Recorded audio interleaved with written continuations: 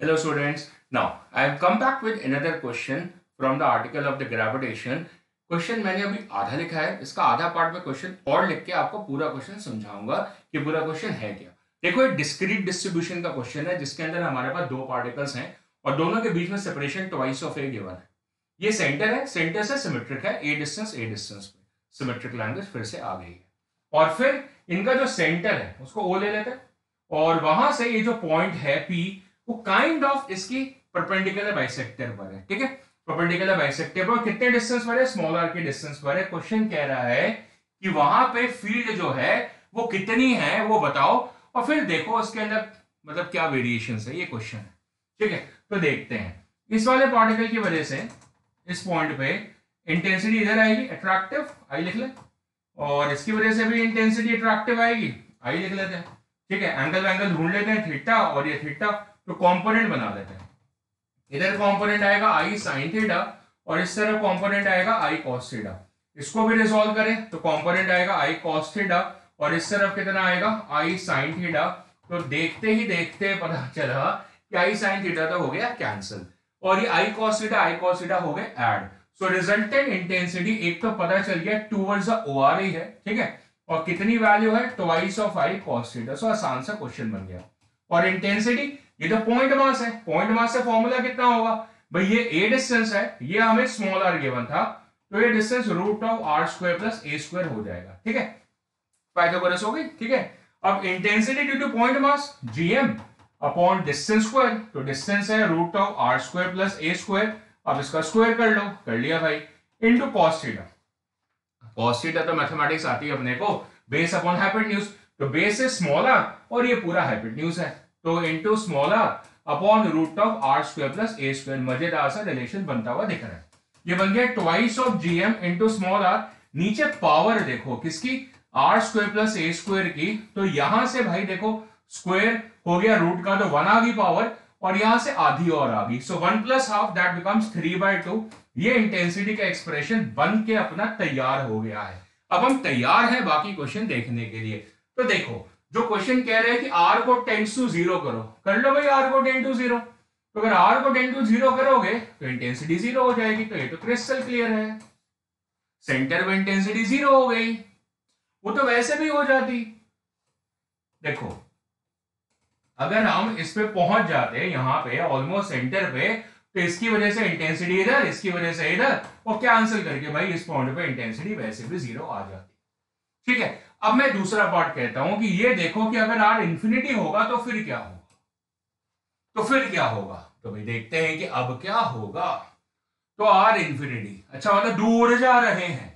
कहा जा रहे हैं? दूर जा रहे हैं। तो दूर जा रहे हैं मतलब ये चीज़ें छोटी लगने लगेंगी। इनके बीच का गैप छोटा लगने लगेगा। दूर जा रहे हैं भाई हम।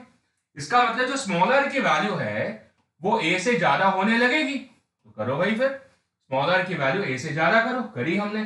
तो फिर क्या होगा? ये ए यहाँ पे नेग्लेक्ट होना शुरू हो जाएगा। तो ये एक्सप्रेशन इंटेंसिटी का होने लगेगा twice of GM into small R upon कितना हो जाएगा? R square power three by तो उड़ गया। R square power three by two R cube हो गया। अरे तो ये रिलेशन आ गया twice of GM upon R square ये बिल्कुल ऐसा हो गया। सोचो कि भाई दूर से इनके बीच का डिस्टेंस दूर से इनके बीच का डिस्टेंस नज़र नहीं आ रहा। दूर से इनके बीच का डिस्टेंस नज़र नहीं आ रहा तो ये काइंड ऑफ़ मर्ज हो गया सिंगल मास बन गया टू एम और ये दूर से आप देख रहे हो, इस पॉइंट से डिस्टेंस आ पॉइंट मास लग रहा है। पॉइंट मास की फ़ील्ड आ गई जी इंटू टू एम ऐसे लिख के देखो। G into two M upon R square बिल्कुल पॉइंट मास जैसा लग गया। ठीक है, अब और और दूर चले गए। और दूर चले गए तो आर टेंस से इंफिनिटी सो आए।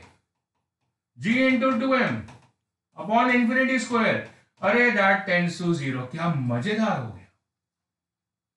क्या मज़ेदार हो गया। आर टेंस टू ज़ीरो पे भी zero r tends to infinity पे भी ज़ीरो तो मामला क्या है भाई?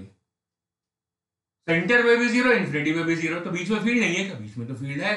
तो फिर हुआ क्या? अच्छा बीच में फ़ील्ड इंक्रीज होके फिर शायद डिक्रीज हो गई। ये हुआ। अच्छा तो इसका मतलब हमें वो पॉइंट ढूंढना पड़ेगा, जहाँ पे फ़ील्ड मैक्सिमा हुई थी। तो चलो ढूंढे, कैसे? इस फ़ंक्शन को डिफ्रेंशिएट करते हैं। तो d I upon d r निकालते हैं। तो twice of G M as it is इसको डिफ्रेंशिएट करते हैं। डिविजन रूल लगेगा? Division rule so denominator r square plus a square power three by two into differentiation numerator one हो गया। थोड़ी जगह बनानी पड़ेगी। इरेज करता हूँ मैं इसको पहले, है ना? ये इरेज करता हूँ। पॉइंट मास की चर्चा तो खत्म ही हो गई ना अपने है ना? इसको इरेज करें, थोड़ी जगह बने, फिर अच्छे से काम करें। राइट तो चलो, अब देखो, ये हो गया denominator into differentiation numerator one आ गया minus numerator into differentiation of denominator अब इसको डिफ्रेंशिएट करो। तो पावर कितनी है? Three by two into r square plus a square power कितनी हो जाएगी? Three by two minus one half हो जाएगी। कैसे? फॉर्मुला बताइए था अपने एक्स पावर एन क्या होता है? N into x power n minus one after differentiation और फिर चेन रूल तो आर स्क्वायर का डिफ्रेंसिएशन कितना हो गया? टू आर ये तो कांस्टेंट है तो ये टू आर आ गया, है ना? और divided by denominator square so that is r square plus a square का होल क्यूब ये होता है डिफ्रेंसिएशन का फॉर्मूला किसका? प्रोडक्ट रूल का. बन गया, आ गया. अब क्या करना है? मैक्सिमाइज करने के लिए equal to zero equal to zero कर दिया. अब देखो भाई क्या बना इससे. तो देखते हैं क्या बना ज़ीरो करके हमें पता चल रहा है न्यूमरेटर में इसमें से और इसमें से. एक तो ये टू कैंसिल हो गया। यहाँ से आपका root of r square plus a square common आ जाएगा। ये आ गया कॉमन ये हो गया r square plus a square minus यहाँ से three r square so minus three r square equal to zero बाकी तो सब ब्रैकेट के बाहर ही है ना, वो तो गया। ये ज़ीरो के बराबर हो गया। ठीक है? तो क्या मिला देखो? तो ये पूरा ज़ीरो कर दो। ये तो ज़ीरो होगा नहीं। यही ज़ीरो होगा। तो इससे मिला अपने को that is r square plus नहीं ए स्क्वायर इक्वल टू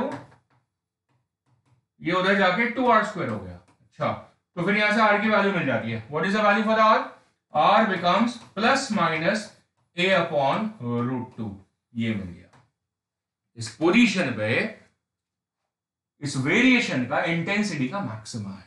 मतलब मतलब अगर आप इसका वेरिएशन बनाओगे तो इंटेंसिटी सेंटर में ज़ीरो राइज करेगी मैक्सिमम फिर कम होगी और इंफिनिटी में जाके ज़ीरो हो जाएगी। किस पॉइंट पे मैक्सिमम हुई? That is r equal to plus a upon root two और ऐसा पॉइंट इसके सिर्फ़ राइट को नहीं होगा लेफ़्ट को भी होगा। तो वो आपके दूसरे रूट को टेक केयर करेगा। लाइक दिस तो ये पर्टिकुलर पॉइंट क्या आया? R equal to minus a upon root two है ना बेहद ही खूबसूरत ग्राफ। और ये बेहद खूबसूरत क्वेश्चन इसके साथ में खत्म होता है। Coming back with the improvise question in the next class thank you